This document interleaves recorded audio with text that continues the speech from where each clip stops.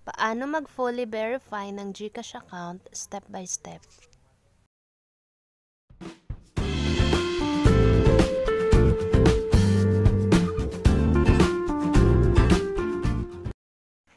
So, ayan guys, punta lang tayo sa ating cellphone at i-open lang natin ang ating GCash.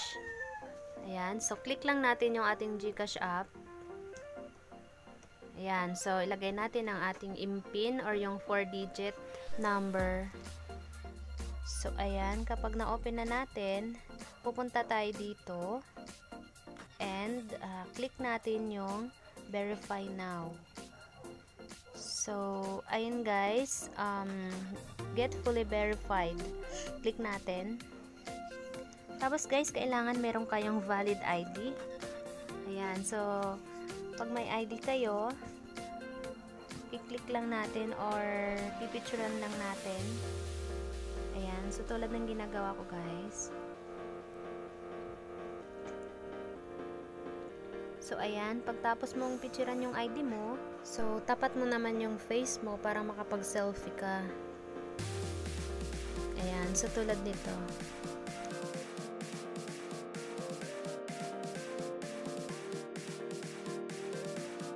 So, ayan guys, check mo ngayon yung ID information mo kasi kapag na-picturean mo na iyong IDs, automatic nag-fill up yung information dito.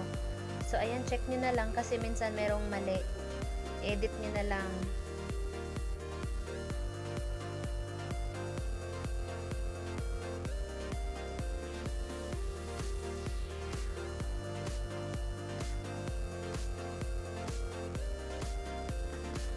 So, ayan guys, dito tayo sa my work details. Ayan, so, check nyo na lang kung alin ang angkop sa inyo. Ayan. So, yung an ano naman natin, yung source of funds, pwedeng cash in hand, uh, bank account, or electronic money. So, review your information kasi para sure at sigurado.